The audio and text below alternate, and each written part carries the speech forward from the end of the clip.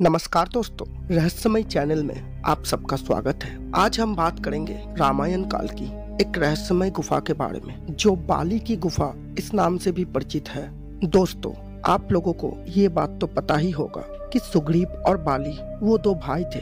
एक दिन वो दो भाई अपने राजमहल में बैठे हुए थे। तभी बाहर से एक राक्षस, जिसका नाम माया भी था, वो आके बाली को युद्ध के लिए बहुत ज़्यादा ललकारते हैं। तो बाली ललकार सुन के उसके पीछे पीछे दौड़ते हैं और उनके पीछे सुग्रीव भी जाता है। दोनों भाई को आते हुए देख के वो राक्षस बहुत ज़्यादा डर जाता है और वो डर के मारे जाके एक गुफा के अंदर छुप जाता है। लेकिन बाली भी उनके पीछे पीछे जाता है और जाके गुफा के सामने अपने भाई को कहता है कि, ठहरो शुक्री, तुम यही रहो, मैं अंदर जाता हूँ और जाके उस मायावी राक्षस का वध करता हूँ। अगर वो फिर से इस रास्ते से भागने की कोशिश की तो तुम उसका वध कर देना। ये बात कह के बाली अंदर चला जाता है।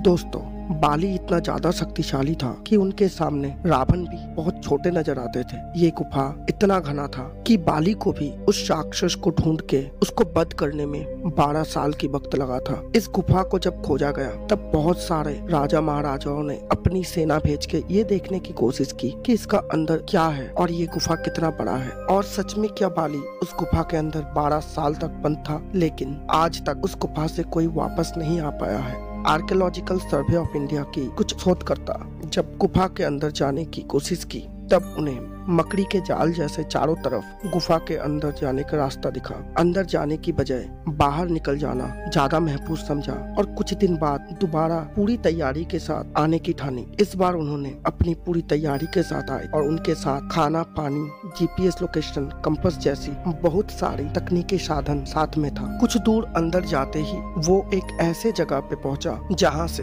बहुत सारे छोटे बड़े गुफा चारों तरफ़ निकला हुआ था। लेकिन उनमें से जो गुफा सबसे बड़ी थी, उसके अंदर जाने की ठानी। अंदर जाते ही उन्हें चारों तरफ़ पानी टपकने की आवाज़ सुनाई दी और बहुत सारे चमगादड़ चीखता हुआ उनके सर के ऊपर से निकल गया। कुछ दूर अंदर जाके उनको एक ऐसी डरावनी चीज़ मिला जो ये मानने में मजबूर कर देता है कि ये गुफा सच में वही गुफा है जहाँ बाली और मायावी राक्षस की युद्ध हुआ था। उनको वहाँ एक इतनी बड़ी नाखून मिलता है, जो ना ही इंसान का है, ना ही किसी बड़े से बड़े जानवर का। वो नाखून था उस मायावी राक्षस का। इस घटना के बाद वो लोग वापस आ गए और गुफा के अंदर जाने पर बैंड लगा दिया गया और ये मान लिया गया कि ये रामायण काल की ही गुफा है और बाली इसके अंदर बारह साल तक बंद था। तो दोस्तों, आपकी क्या राय है इस गुफा को लेकर? नीचे कमेंट करके ज़रूर बताएँ और हमारे साथ जुड़े रहे। हमारे वीडियो देखने के लिए शुक्रिया।